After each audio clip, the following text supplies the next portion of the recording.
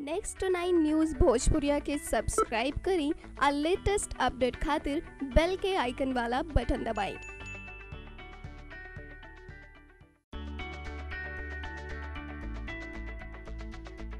इस खास रिपोर्ट में हम आपको भोजपुरी फ़िल्म इंडस्ट्री के सबसे बड़े सुपरस्टार पवन सिंह के साथ हुए एक अजीबोगरीब वाक्य के बारे में बताने जा रहे हैं। दरअसल, भोजपुरी अभिनेता और गायक पवन सिंह को कुछ महीनों पहले अगवा करने का प्रयास किया गया था। खबरों के मुताबिक, बस्ती ज़िले में फ़िल्म सरकार राज की शूटिंग के लिए आए पवन सिंह को गाड़ी के साथ अपहरण करने की कोशिश की गई।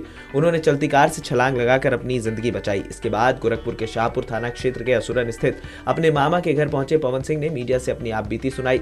पवन सिंह ने मीडिया को यह भी बताया कि जब वो मुंबई से लखनऊ एयरपोर्ट पहुँचे तो वहाँ कुछ लोग उन्हें रिसीव करने पहुँचे थे।